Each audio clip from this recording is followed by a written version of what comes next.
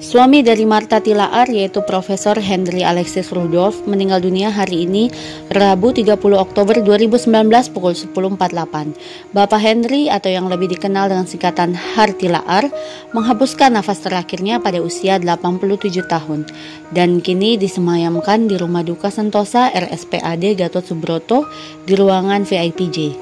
Beliau lahir di Tondano, Sulawesi Utara pada 16 Juni 1932. Meskipun sang istri dikenal menggeluti dunia kecantikan, kosmetik, dan jamu-jamuan, namun Har sendiri selama ini bergelut di dunia pendidikan sejak 1952. Beliau pernah menjadi guru besar di UNJ. Selain itu, Hartilaar juga pernah menjadi dekan Fakultas Pasca Sarjana UNJ pada 1976 sampai 1980. Hartilaar yang dikaruniai empat anak ini juga pernah menjadi guru besar di Universitas Indonesia dan UKI Jakarta.